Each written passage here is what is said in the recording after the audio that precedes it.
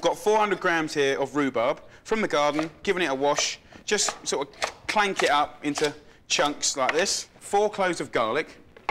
Then I've got a thumb-sized piece of ginger. Just slice it up into like little pieces like that.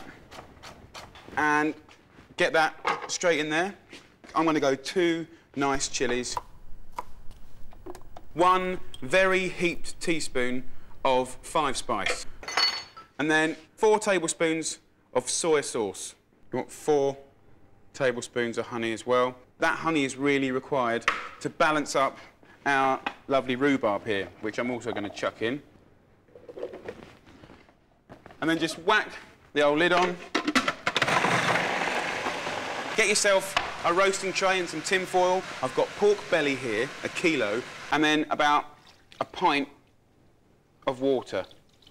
And then I'm going to pour this lovely paste in. Look at that.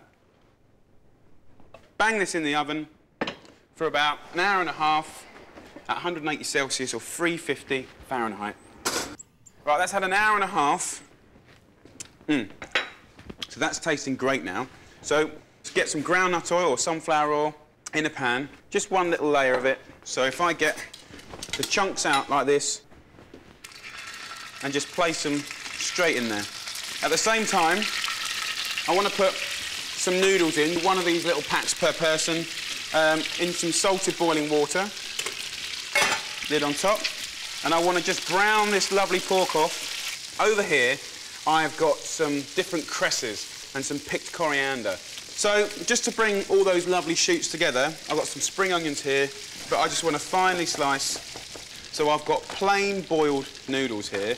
And that little bit of water that's dripping off there now, keep a bit of that, because that will keep it light and steamed. So I want to get that lovely sauce, put that right in the middle, and then just place that lovely, rich, hot, crisp meat on top. And again, contrast of textures there. And then at this point in the game, you want to get some of your spring onion from a height and sprinkle it.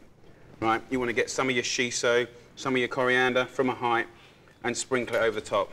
Some of the cresses and the moolies and stuff like that. And then just serve it with half a lime that you just squeeze over the top. Then if you want a bit of extra chilli,